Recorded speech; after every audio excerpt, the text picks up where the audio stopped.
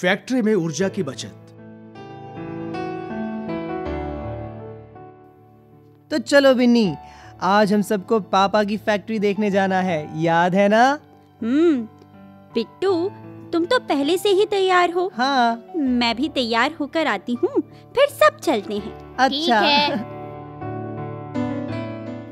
चलो चलो मैं तैयार हूँ अब चलते हैं।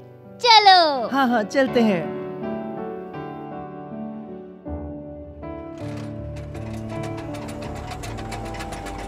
लो हम पहुँच गए फैक्ट्री अरे अरे वो देखो पापा आ गए। अरे बच्चों आ गए तुम लोग? आ जाओ आ जाओ। पापा। कैसे हो? हम्म? अम, बहुत अच्छे पापा।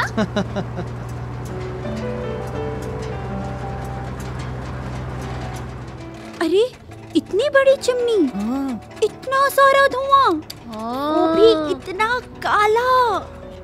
चिमनी है तो धुआँ तो होगा। हम्म पर गहरे काले धुएँ का मतलब है कि ईंधन की खपत ज़्यादा हो रही है। हम्म। बिल्कुल ठीक कहा तुमने बच्चों। हम्म, लगता है हमें जल्दी ही इसकी जाँच करानी होगी। अच्छा चलो अब अंदर चलते हैं। आओ, चलो, चलो, आओ आओ।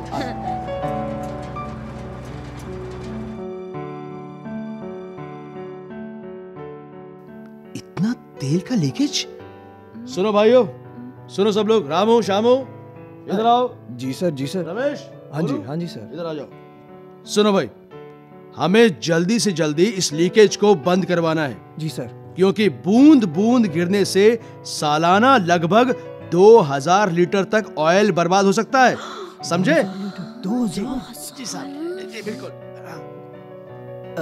साहब हाँ सुरेश? ये देखिए इस बार ना ये बिजली का बिल इतना ज़्यादा आया है फैक्ट्री का। ओह अच्छा अच्छा अच्छा। हम्म लगता है मशीनें ज़्यादा ऊर्जा खर्च कर रही हैं। हम्म, उनके मेंटेनेंस पर अधिक ध्यान देना होगा।